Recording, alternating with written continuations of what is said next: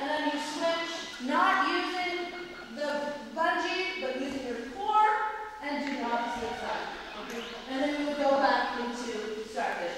That's a variation of the starfish, an additional variation that brings you to intermediate, if not advanced. Okay, very good.